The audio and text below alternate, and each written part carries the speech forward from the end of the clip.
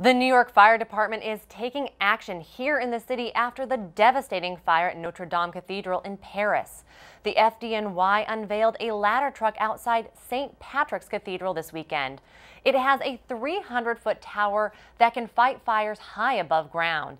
In the Holy Week blaze at Notre Dame, the roof of the landmark burned for hours, threatening the entire structure.